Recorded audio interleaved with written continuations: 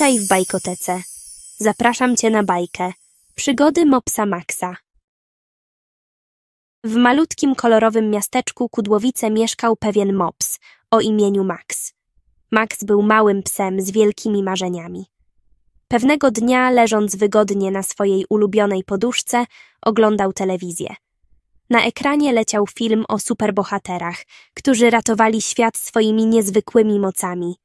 Max nie mógł oderwać oczu od ekranu. Ja też mogę być bohaterem, pomyślał z entuzjazmem. Po filmie Max podskoczył z poduszki i pobiegł do szafy, gdzie jego właścicielka trzymała różne tkaniny i stare kostiumy. Z wielkim trudem, ale z jeszcze większym entuzjazmem, wyciągnął kawałek czerwonej tkaniny i zaczął ciągnąć do swojego legowiska. Po drodze zahaczył o stół, na którym stał kosz owoców. Jabłka i pomarańcze potoczyły się po podłodze, ale Max nawet tego nie zauważył. Miał ważniejsze sprawy na głowie. Musiał stworzyć swój kostium superbohatera. Z pomocą swoich łapek i ogona Max próbował zawinąć tkaninę wokół siebie. Nie było to łatwe, ale po wielu próbach udało mu się stworzyć coś, co przypominało pelerynę. Stanął przed lusterkiem i podziwiał swoje dzieło. Teraz jestem Super Max, ogłosił z dumą, choć peleryna była trochę krzywo zawinięta. Następnego dnia, ubrany w swoją nową pelerynę, Max postanowił rozpocząć swoją pierwszą misję. Wyszedł na zewnątrz, szukając kogoś, kto mógłby potrzebować bohatera. Nie musiał długo czekać. Na pobliskim drzewie miauczał przestraszony kot. To moja szansa, pomyślał Max i ruszył do akcji. Jego podejście było pełne entuzjazmu, choć brakowało mu planu. Cóż, każdy superbohater musi zacząć od czegoś. Max zaczął skakać, próbując dotrzeć do kota, który patrzył na niego ze zdziwieniem. Po kilku próbach i wielu zabawnych upadkach, Max zrozumiał, że potrzebuje lepszego planu. Max, nasz nieustraszony superbohater w czerwonej pelerynie, miał przed sobą pierwsze poważne zadanie. Na najwyższej gałęzi starego dębu, który rósł w środku parku, siedział przestraszony kot. Miał kudłate futro i wielkie zielone oczy, które spoglądały na Maxa z nadzieją. Max przyglądał się drzewu i zastanawiał się, jak najlepiej podejść do misji. Muszę to zrobić mądrze i bezpiecznie, pomyślał. Pobiegł więc do garażu, skąd przyniósł drabinę. Z trudem ją ustawił, bo była ciężka i dużo większa od niego. Ale Max nie poddawał się. Wspiął się na drabinę, trzymając mocno pelerynę, żeby nie utknęła na żadnej gałęzi. Kot obserwował jego poczynania z ciekawością, ale i ze strachem. Kiedy Max był już blisko, kot nagle przestraszył się i zaczął wspinać się jeszcze wyżej. Nie bój się, ja ci pomogę, zawołał Max, ale jego mopsi głos był zbyt cichy, aby przekonać przerażone zwierzę. Max doszedł do szczytu drabiny i zdał sobie sprawę, że jest za niska. Musiał użyć swojej kreatywności. Spojrzał dookoła i zauważył, że obok drzewa rośnie gruby krzak. Wyskoczył na niego z drabiny, a krzak delikatnie uginał się pod jego wagą. To była jego szansa. Ostrogąd, bo tak miał na imię kot, patrzył teraz na Maxa z mniejszym strachem. Max powoli zbliżył się do niego i zaczął mówić kojącym tonem. Spokojnie, zaraz będziemy na dole, mówił Max, starając się uspokoić kotka. Ostrogąd po chwili zaczął mruczeć, co było dla Maxa sygnałem, że kot mu ufa. Z wielkim wysiłkiem Max pomógł Ostrogądowi zejść na krzak, a potem razem spokojnie zeszli na ziemię. Kotek od razu przytulił się do Maxa, a przechodnie, którzy obserwowali całą akcję, zaczęli bić brawo. Max poczuł się jak prawdziwy superbohater. Zobaczcie, każdy może być bohaterem, powiedział Max, patrząc na zgromadzony tłum. Właścicielka Ostrogonda podbiegła do nich i podziękowała Maxowi, dając mu jego ulubione smakołyki. Max wiedział już, że bycie superbohaterem to nie tylko kwestia supermocy, ale przede wszystkim odwagi i chęci pomocy innym. Po swojej bohaterskiej akcji z ratowaniem Ostrogonda, Max stał się prawdziwym bohaterem Kudłowic. Ale z nową sławą przychodziły nowe wyzwania. Pewnego dnia, podczas spaceru z właścicielką, usłyszał rozmowę dwóch osób stojących przy ogrodzeniu parku. Piesek Puszek zaginął wczoraj wieczorem. Wyszukał sobie dziurę pod płotem i uciekł, mówiła starsza pani, ocierając łzy z policzków. Jest taki mały i bezbronny. Max natychmiast poczuł, że to jego kolejna misja. Pożegnał się z właścicielką machnięciem ogona i ruszył na poszukiwania. Puszek był malutkim, białym szczeniakiem, którego łatwo mogło spotkać wiele niebezpieczeństw na ulicach miasteczka. Max zaczął swoje śledztwo od parku, gdzie Puszek był widziany po raz ostatni. Przeszukiwał każdy krzak, każdą alejkę, używając swojego doskonałego psiego węchu.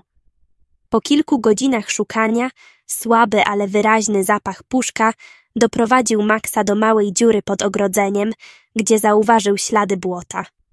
Szlak prowadził dalej do pobliskiego lasu, który był pełen niebezpieczeństw dla małego pieska. Max, pełen determinacji, wbiegł między drzewa, słuchając każdego szelestu. W końcu, głęboko w lesie, usłyszał ciche skomlenie. Podążając za dźwiękiem, znalazł puszka zaciśniętego w kącie pod starym, opuszczonym budynkiem. Szczeniak wyglądał na przerażonego i był cały zabłocony. Max podszedł ostrożnie, mówiąc kojąco. Nie bój się, Puszku, jestem tu, żeby cię zabrać do domu. Puszek, choć nieufny, pozwolił Maxowi się zbliżyć. Max ostrożnie podszedł i zaczął prowadzić szczeniaka z powrotem przez las. Droga powrotna była długa i trudna, ale Max nie opuszczał puszka ani na krok. Kiedy w końcu wyszli na obrzeża lasu, właścicielka puszka już na nich czekała, zaniepokojona, ale pełna nadziei. Widząc swojego szczeniaka, natychmiast się rozpłakała ze szczęścia. Puszek machał ogonem, radosny na widok swojej pani. Puszek wrócił dzięki tobie, Max. Jesteś naszym małym bohaterem, powiedziała, przytulając oba psy. Max, mimo zmęczenia, poczuł ogromną satysfakcję. Tego dnia Max zrozumiał, że prawdziwe bohaterstwo to nie tylko chwile triumfu, ale przede wszystkim ciężka praca i nieustająca troska o innych. Kudłowice mogły spać spokojnie, mając takiego bohatera. Po udanych misjach ratunkowych, Max poczuł, że jest gotowy na każde wyzwanie, które mogłoby pojawić się w Kudłowicach. Nie musiał długo czekać, bo już następnego dnia jego pomoc była potrzebna podczas lokalnego festynu w parku. Miasteczko przygotowało festyn pełen gier, muzyki i przysmaków. Centralnym punktem atrakcji była ogromna, kolorowa instalacja balonów. Max w swojej czerwonej pelerynie miał za zadanie pomagać dzieciom w bezpiecznym korzystaniu z atrakcji. Jednak prawdziwe wyzwanie miało dopiero nadejść.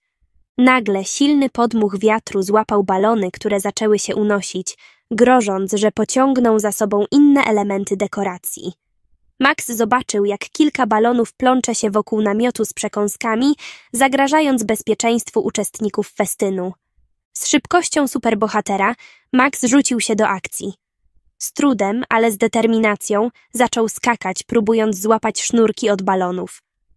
Po kilku nieudanych próbach i zabawnych upadkach, w końcu udało mu się chwycić jedną z lin.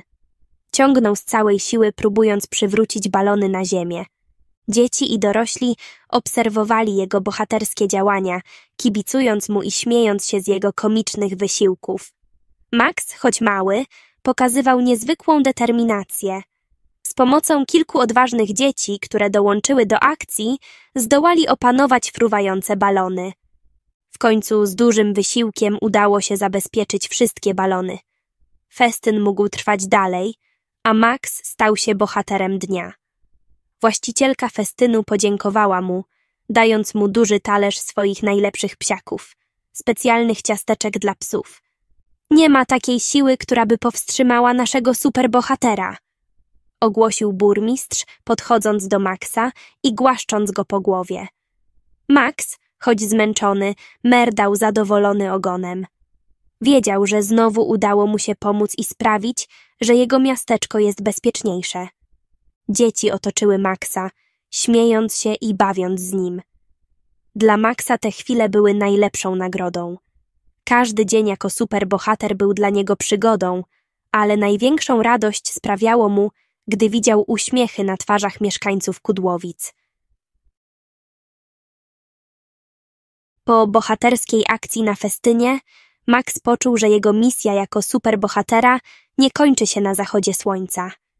Postanowił, że od tej pory będzie również patrolował miasteczko nocą, aby upewnić się, że wszystko jest w porządku. Pierwszej nocy, ubrany w swoją czerwoną pelerynę, Max wyruszył na nocny patrol. Księżyc świecił jasno na niebie, a ulice Kudłowic wydawały się spokojne i ciche. Max kroczył dumnie, czując się jak prawdziwy strażnik nocy. Jego pierwszym zadaniem było sprawdzenie parku. Max węszył tu i ówdzie, upewniając się, że żadne dziwne dźwięki czy ruchy nie zakłócają spokoju. Wszystko wydawało się być w porządku, aż do momentu, gdy usłyszał dziwne szelesty dochodzące z krzaków. Max natychmiast przybrał postawę bojową i zbliżył się do źródła dźwięków. Jego serce biło szybciej, ale był gotowy stawić czoła niebezpieczeństwu. Kiedy dotarł do krzaków, z napięciem odsunął gałęzie i zobaczył stado dzikich królików, które ucztowały na liściach. Max niemal się roześmiał z ulgą i rozczulenia. Króliki przestraszone szybko odskoczyły, a Max, choć początkowo zawiedziony, że nie było to nic groźnego, poczuł satysfakcję, że park był bezpieczny. Następnym przystankiem był plac zabaw, gdzie Max sprawdził, czy wszystkie zabawki są na swoim miejscu i czy nie ma żadnych niebezpiecznych przedmiotów, które mogłyby zaszkodzić dzieciom rano. Wszystko było w najlepszym porządku, więc Max kontynuował patrol. Wędrując ulicami, Max zaczął zauważać, jak wiele szczegółów umyka mu w ciągu dnia. Nocne patrole pozwalały mu lepiej zrozumieć swoje miasteczko i jego mieszkańców. Z każdą mijaną godziną czuł się coraz bardziej związany z Kudłowicami. Pod koniec nocy, zmęczony, ale zadowolony ze swojej pracy, Max powrócił do domu. Wiedział, że jego nocne eskapady mogły wydawać się niepotrzebne, ale dla niego każda noc była kolejną szansą na to, by zadbać o bezpieczeństwo swojego miasta. Ludzie Kudłowic mogli spać spokojnie, wiedząc, że ich mały, czujny bohater jest zawsze na straży. A Max, chociaż tylko mops, czuł się jak największy superbohater na świecie. Po nocnych patrolach Max stał się lokalną sławą w Kudłowicach. Jego bohaterskie poczynania zaczęły przyciągać uwagę mieszkańców, którzy zaczęli wzywać go do rozmaitych, czasem zaskakujących zadań.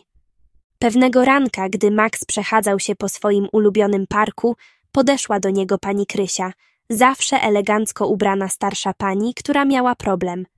Max, cudownie, że cię widzę. Czy mógłbyś pomóc mi odnaleźć moje okulary? Zgubiłam je gdzieś podczas porannego spaceru. Prosiła z rozpaczą w głosie. Max, chociaż zaskoczony takim zadaniem, nie mógł odmówić. Z entuzjazmem zaczął przeszukiwać alejki, krzewy i ławki. Po kilkunastu minutach intensywnego węszenia odnalazł okulary pani Krysi leżące pod jednym z krzaków.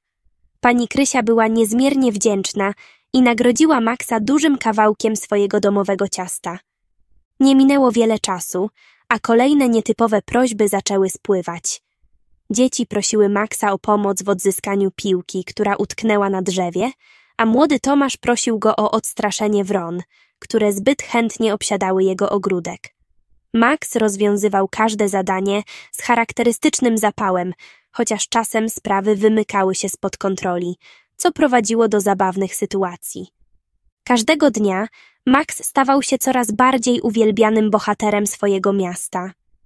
Jego dni wypełnione były nie tylko prawdziwymi misjami, ale również drobnymi przysługami, które, choć zdawały się błahe, były dla niego równie ważne. Max uczył się, że bohaterstwo to nie tylko wielkie czyny, ale także codzienne działania, które sprawiają, że życie innych staje się łatwiejsze i przyjemniejsze. To właśnie te małe gesty sprawiały, że czuł się prawdziwym superbohaterem. Pewnego burzowego wieczoru, Gdy Max leżał przytulony do swojej ulubionej kołdry, rozległ się gwałtowny pisk opon za oknem. Max wiedział, że to może oznaczać kłopoty, więc szybko wyskoczył na zewnątrz, by zobaczyć, co się dzieje. Na ulicy, tuż obok jego domu, samochód wpadł w poślizg i zatrzymał się na chodniku. W środku siedziała młoda rodzina, wyraźnie przestraszona, ale na szczęście nie naruszona.